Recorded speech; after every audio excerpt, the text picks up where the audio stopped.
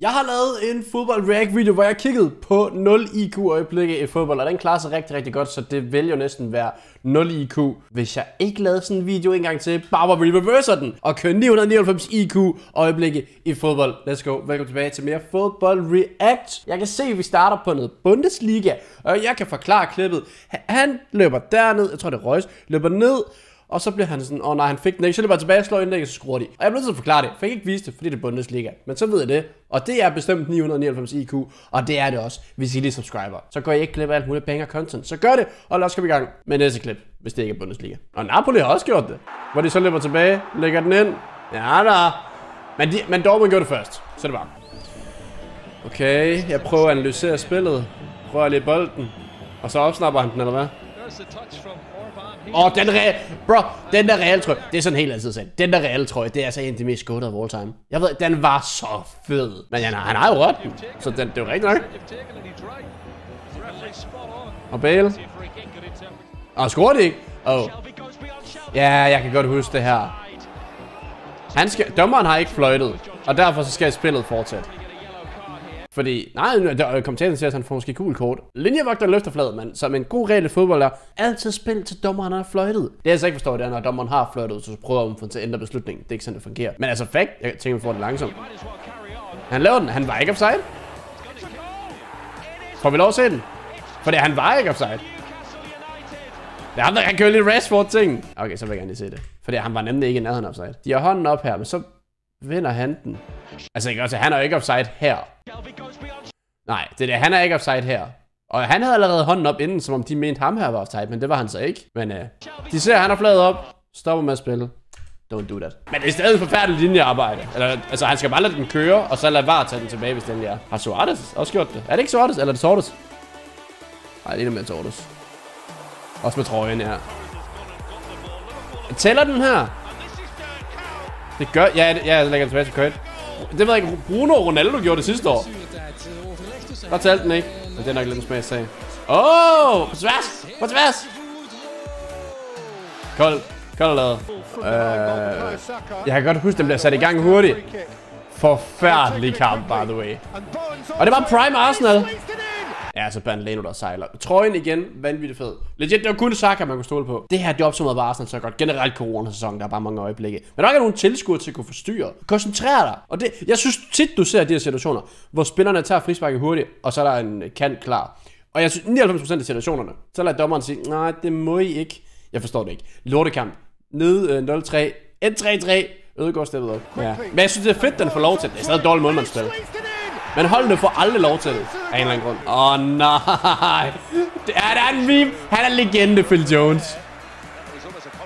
Også bare stillbilleder af hans ansigt. Manden kravler, right? Han kravler på jorden og forsvarer. Jeg så en kommentar, inden den her video startede, hvis det var sjovt. Phil Jones crawling is faster than McGuire running. Wow. Altså, men ja, færdig. Det, Phil Jones på det tidspunkt, jeg blev jo hyped op til at skulle blive noget stort. Men han gjorde bare sig selv til en meme. Det er godt forholdsspil, men stadig. Du vil ikke se Thiago Silva gør, eller Ruben Dias eller sådan noget gør det der. Er det Ronaldinho? Ah, jeg ved ikke, om man må det der. Jeg tror, den tæller. Men det er fordi, altså han, jamen, han løfter den op af. Fordi jeg ved, hvis du har den... Jeg har Suarez nemlig prøvet før. Hvor den ligger i hånden på keeperen, og så han bare hætter den ud. Det må du ikke. Men han, keeperen skubber den jo op af. Så, og der. Så han giver slip på den. Jeg kender ikke reglerne. Jeg, jeg, jeg vil sige det på hotellet. Åh. Oh. Kan jeg bare flytte på sprayet? Jeg har godt se, hvor de fjerner det, men... Det, det er jo ikke... Bruger man stadig spray i fodbold? Men det er det, der ødelægger hele pointen med det. Men nu er faktisk... Gør man stadig det? Eller har man bare opgivet på det? Det kan jeg slet ikke huske. Aha. Aha. Det er endet det der. Og der er mange, der prøver på det, hvor det aldrig virker, men det er også fordi, der alt skal bare virke. Det er jo 4-5 afleveringer i streg, der skal ligge der. Det gør den så også. Uh. Jeg tror ikke, det var meningen, at jeg skulle så tæt på mål. Jeg tror, det var meningen, at han ville lave cutback. Det er ikke. Det er godt spillet. Den, den får det, den får det. Åh, oh, Ronaldo, ja. Det minder lidt om de brøgnes mål. Uh, igen, de er glade for den, den der ting, ting, ting.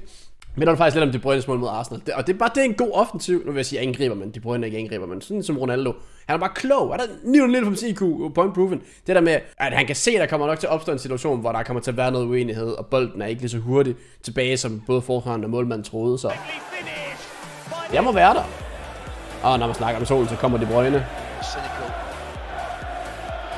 Bernardo signalerer noget. Vil han have den? Bag Hazard. Hvorfor går Alonso indad? De, altså, ja, fair nok, det er godt lavet City-spillerne. Skruer de? Ja, det gør de. Og synkron, kom om. Hvad laver Alonso? Men det er der nok mange Chelsea-fans har sagt. Mm. Åh, oh, jeg hader de her situationer. Fordi det, det er Rashford om igen. Han har, altså, han har ikke indflydelse på bolden, men han har indflydelse på, om han løber efter den. Nej, men jeg, nej, hvad er fair nok? Ah, det er svær. Jeg synes ikke helt, det er det samme. Er det Foden? Det er godt lavet. Det var ikke Foden, det var Aspas. Tænker jeg med højre. Åh, oh, og så bliver han skadet. Og så tager han trøjen af og får gul kort, fordi så han kan tale, mens han er skadet. Ja!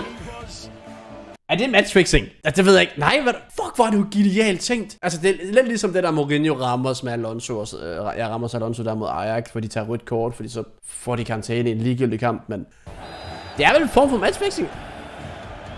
Er der offside egentlig? Ja, alle var offside. Sygt nok. Men han skal eddermame med time det rigtigt. Okay, fair. Hvis vi gjorde det her i serie 4, der vil stå en bums. Bare stå sikkert og snakke med vores målmand. Han skal ikke engang stå dernede til at starte med, og så ikke engang opfatte noget som helst. Så man skal virkelig, man skal virkelig time det ordentligt. Men ja, fair nok, hvis det virker. Oh, han trækker den. Han lignede akkurat, men det er også enten eller. Det er all in. Det her det er godt lavet, Theo Walcott.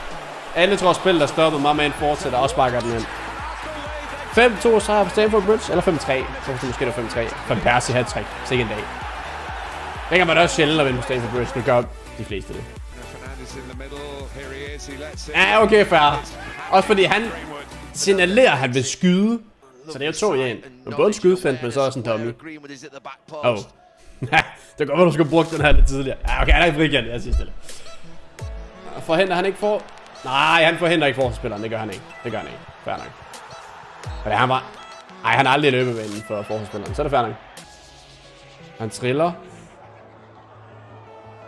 Men det, det er, folk er begyndt at lægge mærke til det. Og igen, dommerne plejer bare at sige, det må I ikke. Og så kan han bare løbe. Skruer de så i det mindste? Ja, det er egentlig ikke fordi... Altså jo, fair nok, nu skruer de så vist. Det er ikke fordi, det gør situationen meget bedre. Hvorfor er der ikke nogen, der siger det til målmanden? Åh, men det er så dumt. Det havde været så fedt, hvis sammen den anden side, den har været offside eller sådan noget. Big brain plays. Det her er ikke 200, eller, eller okay, jeg tror jeg bare, jeg går med 200 IQ plays i stedet for 999. Det er jo bare show off. Messi kan jo bare sparke den ind. Også fordi bolden var, den var jo tiltænkt til Neymar. Har man jo siden der fundet ud af. Så øh, ja, men det er simpelthen til vejs ende. Øh, hvis jeg er også heldig, så vil I subscribe. Og så vil jeg også smide et like, hvis I kan lide de her fodboldvideoer, og vil se flere af dem. Og ja, det er ellers bare det. Så ses vi bare igen næste gang. Hej hej.